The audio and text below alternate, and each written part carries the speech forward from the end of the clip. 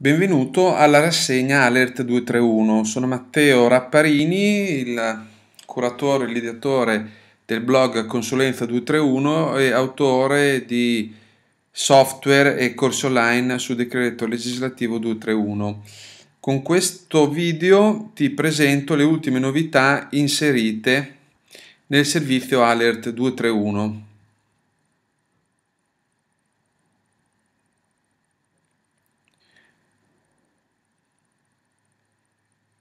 Questa settimana abbiamo inserito 2, 3, 4, 5, 6, 7, 8 novità. Vediamole insieme.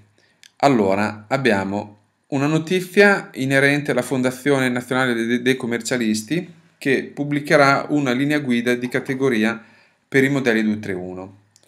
Poi, nella sezione news abbiamo l'altra notizia che riguarda la pubblicazione in Gazzetta Ufficiale della legge 68 2015 2015 che prevede l'introduzione dei cinque nuovi reati sulla 231.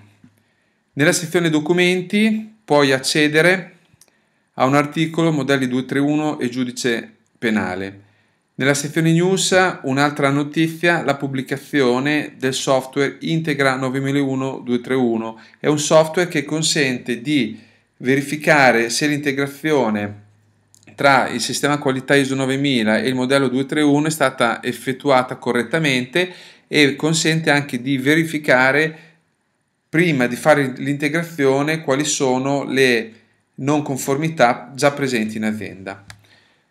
Poi abbiamo tre convegni che si terranno a Roma sulla 231 e infine un'offerta di lavoro, uno studio legale ricerca un avvocato esperto 231 è uno studio legale di Padova.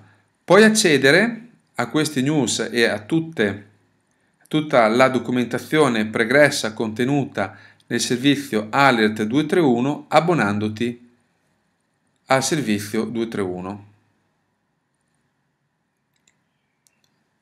attraverso il sito consulenza231wordpress.com. Grazie per la tua attenzione.